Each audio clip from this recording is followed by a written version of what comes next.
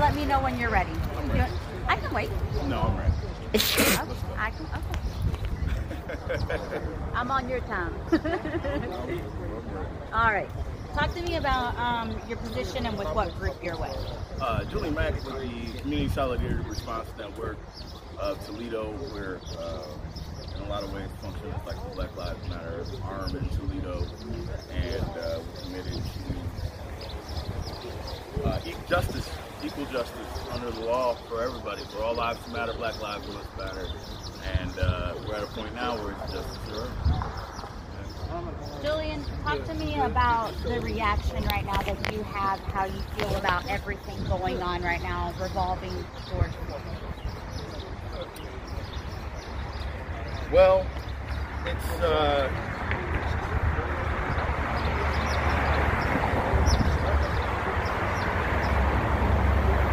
difficult time. We were taught in school that America was different, um, that our parents or our grandparents have fought to overcome many of the challenges that we face today, and. Um, you know, it's it's frustrating, but it's also very motivating, right? This is what's happened over the past month uh, will definitely be in the history books, and how we look back on it will be decided on what we do right now. So, what side of history do you want to be on? I mean, it's really that simple.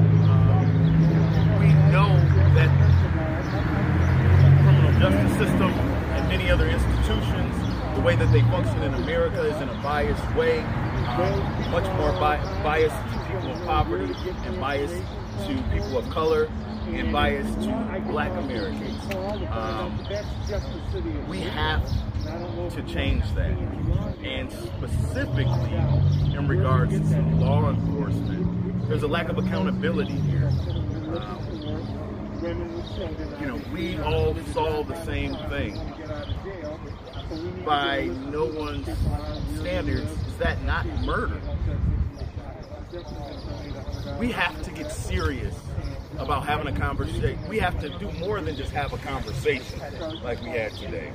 Uh, We have to be serious about changing the power structure with law enforcement so that it truly benefits the people.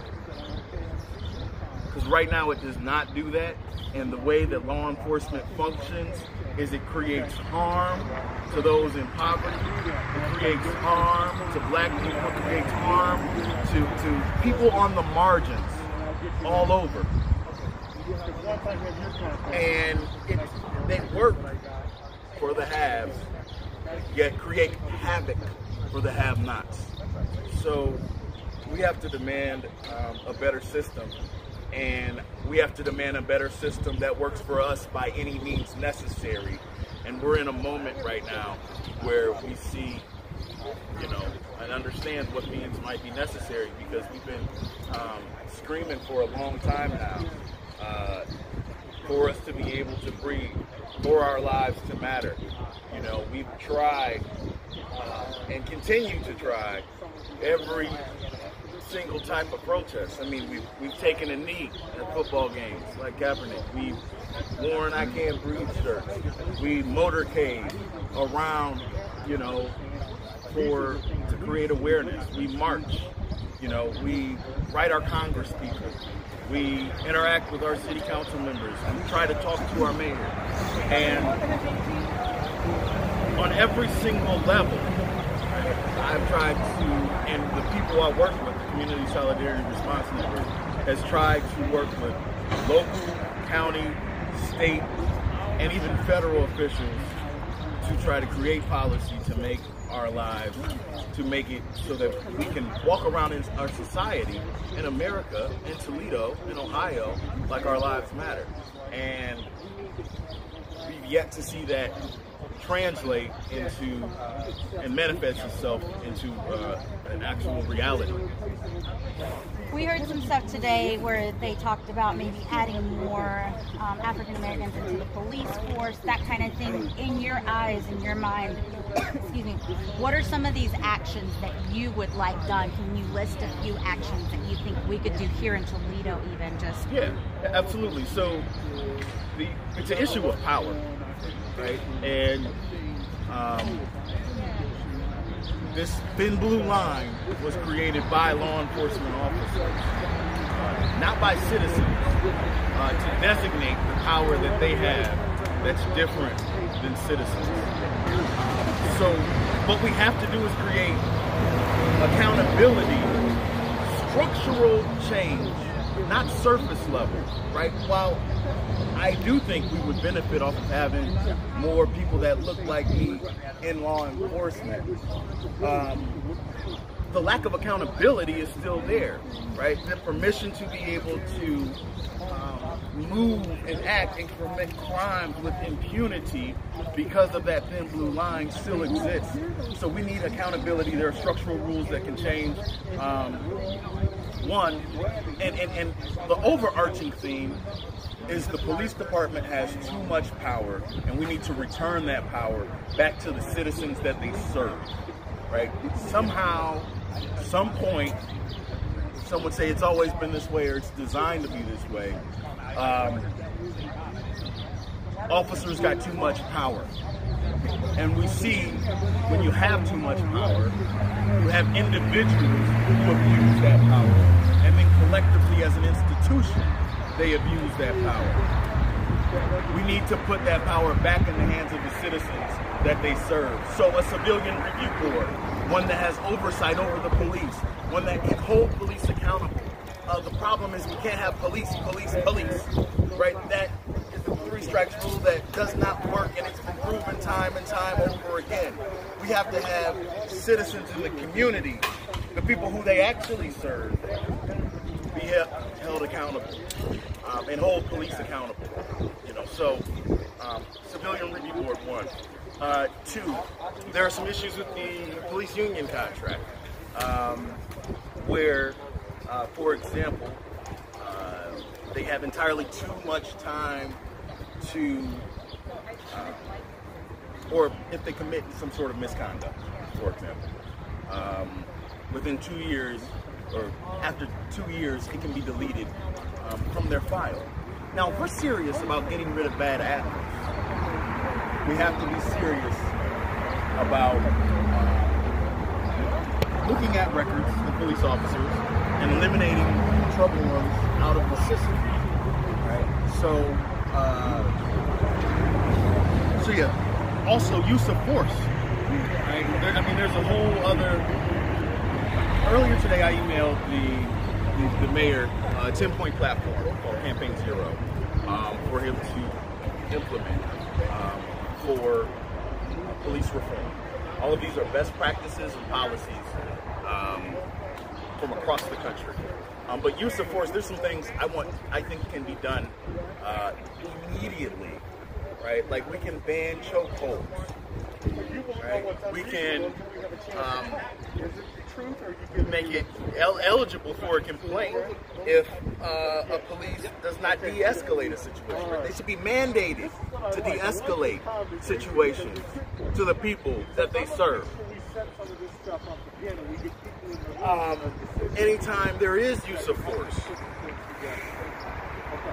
that should be recorded and that should be measured, right? So we can track the officers that are having use of force problems and issues. And that can either be corrected or those people can find another field to work in. Do you feel that some of that overuse of force, when you're talking about that, are you just talking about police in general, or are you talking about situations? I'm talking about Toledo Police Department. That is a policy, right? They, there's a use of force. Uh, uh, use of force is, is one of the 10 um, points on a 10 point platform. It's one of, is one of the 10 points on a 10 point platform use of force uh, that can help minimize police violence. Um, there is protocol when an officer engages in a use of force. Uh, what we need to do is is relook at that protocol because obviously it's faulty, right? There, you can talk to, you know, thousands of people in the city of Toledo that can tell you that from firsthand experience. I mean, you can look at other police departments that have enacted use of force limitations and restrictions and checks and balances that work better. Why are we not using the best practices that we've seen now? Right? The time is now. The time was yesterday. The time was past already. But there must be an urgency of elected officials, of leadership, of the mayor, um, to act on structural change that puts the power back into the community. Period. And speaking of the community, what do you guys have going on tomorrow? I'm told there's some type of protest. What are you guys having going on, and why are you guys doing that, and what do you guys want out of that? Right. So people are hurting, legitimately hurting.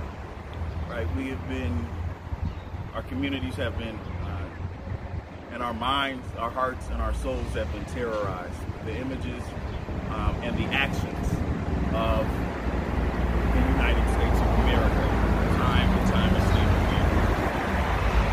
People need to be able to air out those grievances.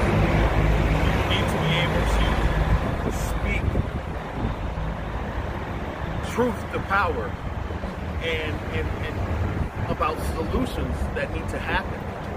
Um, we need to create a space for us to grow, for us to bond, and for us to uh, set the table to make the transformative institutional change that needs to happen for these institutions to actually serve us, right? And so, at three o'clock tomorrow, we'll be meeting uh, to we'll be meeting at three o'clock right here, and you know we're going to um, we're going to make it clear that we demand accountability. Right, we're going to make it clear that we demand limits of use of force and all types of policy. But we also want to create a space, right, where people uh, can express their frustration, their legitimate frustration with the system that is not only not serving us like it should, but is literally killing us. And that's um, that's, that's that's necessary at a time. What are you encouraging people? I know the mayor today talked about very adamant about trying to keep these protests peaceful. We haven't seen that in other places. Do you think that the protests here can be kept peaceful? Do you think that people will be angry? What do you think is going to happen? What do you want from your community? What are you asking from them? I want my community to speak truth to power. Um, I think it can be peaceful. Um, I hope it, you know, I have aspirations of it being peaceful. Right? In no way, shape, or form do I want to feed more, feed the prison industrial complex more bodies, which is something that is another inherent systematic institutional problem with this country. Um, I think that the uprising actions that we've seen in Columbus, Minneapolis, Louisville, LA, and all across the country got our mayor's attention. I think he want, I think he's listening a little more today than he would have a week ago. You know, and so I expect people to show up tomorrow um, ready to speak that truth to power, um, ready to speak that truth to power, um, because unfortunately we've had to face some harsh truths during this time, and many of those in power don't want to confront those truths. And I've personally experienced as an activist seeing elected officials run from that truth. The time from running from the truth of the painful truth of what America is is now over. We have to face it and change it. Give us liberty or give us death. One of our forefathers. Thank you so much, Julian. Anything else that you think? Um,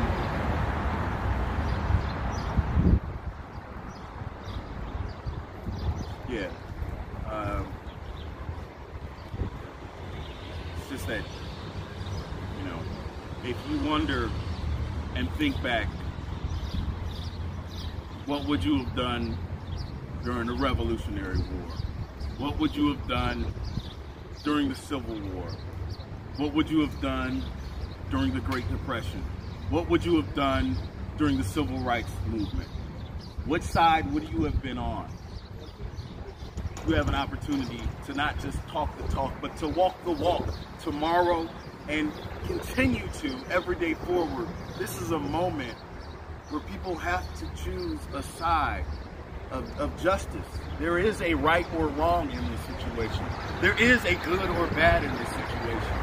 And just like there was in the civil rights movement, slavery, and the Revolutionary War, we have that moment again. And I encourage people to think about um, what their what their descendants will say of them when the history books are written about this triumph.